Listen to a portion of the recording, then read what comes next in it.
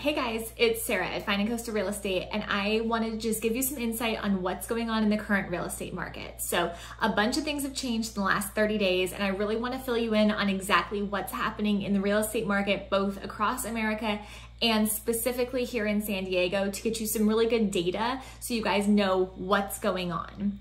So, the last couple months have been filled with a ton of articles with clickbaity headlines like these all talking about a potential market crash. So, all across America, people are being bombarded with news articles like this.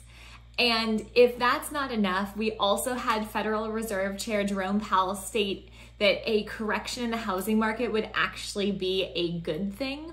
Um, there was a big imbalance between supply and demand. Housing prices were going up at an unsustainably fast level. So, the deceleration in housing prices that we're seeing should help bring sort of prices more closely in line with rents and other housing market fundamentals.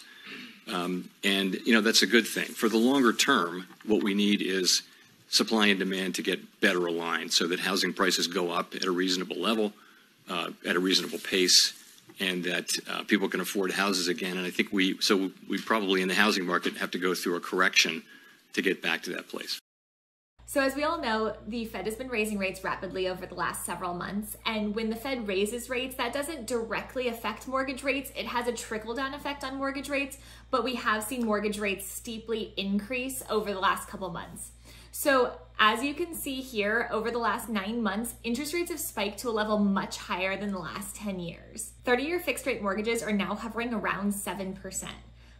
But that's not the only thing that's working against homebuyers. So, banks all across America are worried about a potential 2008 style crash. So, if we do see a huge recession, the big banks know that this time no one's coming to save them. We already did the 2008 bailouts, and that kind of thing's not going to happen again. So, banks have to be really careful with their lending guidelines to reduce their risk in volatile times like this. So, to protect themselves, banks are going to lock down riskier investments. So not only are mortgage rates around 7%, but jumbo high balance loans are even harder to get.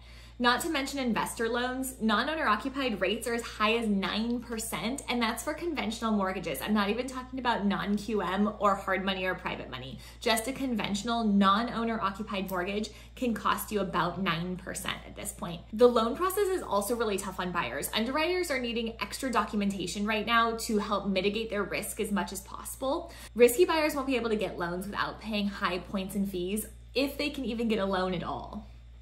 Okay, so how should this be affecting the real estate market? Well, super simple. As interest rates increase, monthly payments also increase, and that decreases the number of buyers that can qualify for that monthly payment. So let's look at an illustration right here. So this is two mortgage options on a million dollar loan with 20% down. So the first one you can see is 4% and that's gonna give you a monthly PITI of about 4,800, right? And that's all in, that includes your property taxes, all of that. Now, instead, we're hovering around 7%. So let's look at the same purchase price, same cash down, and instead a 7% loan. That's a payment difference of $1,500 a month that's going to take a ton of buyers out of the marketplace because they just simply cannot qualify and cannot afford that monthly payment.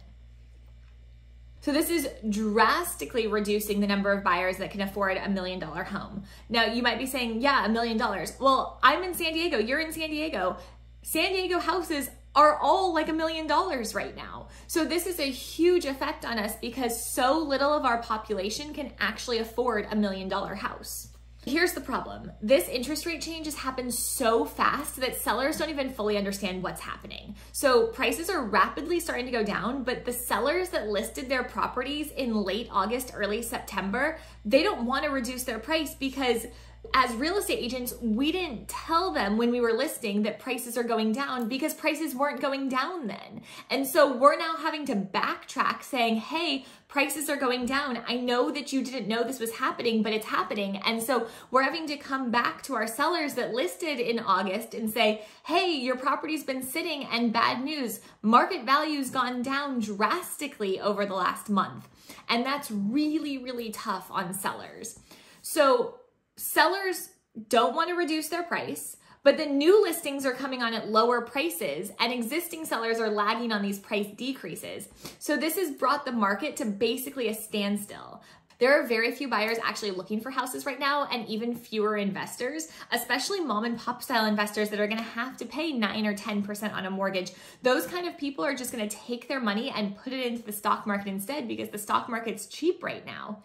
So then on top of that, adding to this slowdown, the only sellers that are selling right now are really selling out of necessity because who wants to trade a 3% loan for a new 7% loan? It doesn't make sense. So most sellers are just going to sit and wait and see what happens. So right now we're mostly seeing DDDR sellers. That's death, divorce, downsizing, and relocating. And then we're actually seeing a few remaining FOMO sellers. That's fear of missing out, right? Because we were at the height of the market and some people were kind of waiting to see the height and they missed it. And so now they're jumping in right now to sell because they don't want to miss out on all the gains.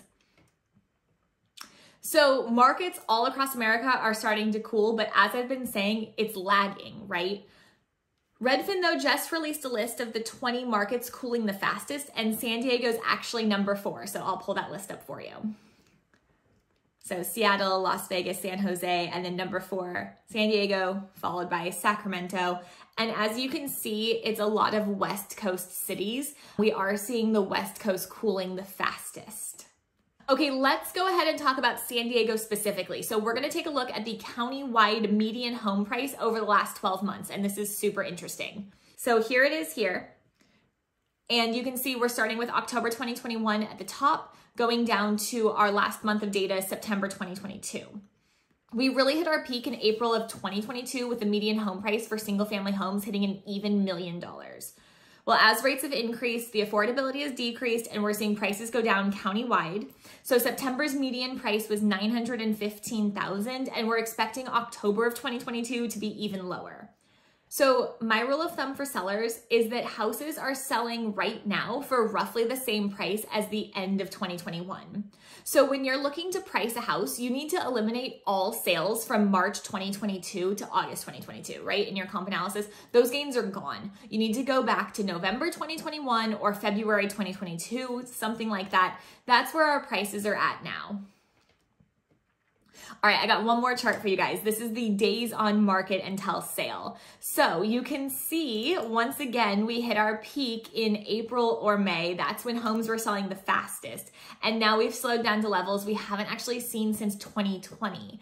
As of September last month, homes are taking an average of 32 days to sell. And that means because it's an average, 50% of homes are sitting for more than 32 days. Sellers are having to be patient and wait on buyers, but they're also having to be proactive and adjust their prices accordingly because all signs are pointing to home prices continuing to decrease for the rest of the year. Now, in my professional opinion, I think we're going to see buyers re-enter the market in the spring after the holiday season. Because if rates stay above 6% by April or May, that will likely be considered the new normal. And so pent-up buyer demand is going to bring an influx of buyers back into the market because we need people buying houses, right? People have they have babies, they get married, etc., and they want to buy a house. And that's gonna, all of this slowdown and lack of buyers in the market is gonna create pent up demand. And then at a certain point, like people are just gonna start jumping in. So that's what I'm expecting to see next year. Obviously, no one can predict the future. All we can do is look at the data we have and then give our best guess. So there's a lot of uncertainty happening right now, but I hope this gave you some really good data on what's actually happening in the market. And as always, you can reach out to me with any real estate related questions, and I am absolutely happy to answer all of your questions and give you professional advice. So feel free to reach out to me with any real estate related questions, issues, anything. Happy to chat with you.